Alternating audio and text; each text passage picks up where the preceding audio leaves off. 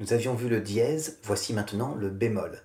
Le dièse servait à faire monter la note d'un demi-ton, le bémol sert à la faire descendre d'un demi-ton, donc plus grave cette fois. La première note avec un bémol, c'est le si bémol. Le si bémol, on va le jouer en troisième case sur la corde de sol. Attention, quand on était passé du fa au fa dièse, on avait fait plus une case. Là, pour passer du si au si bémol, on devrait faire moins une case, mais pas en partant de la corde de si, puisque la corde de si, c'est une corde avide.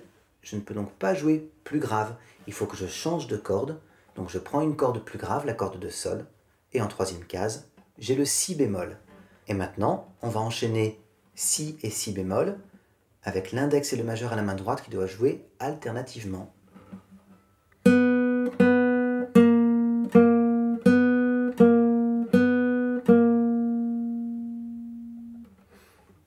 Exerce-toi bien et fais attention donc troisième case avec le troisième doigt et puis le si, corde à vide.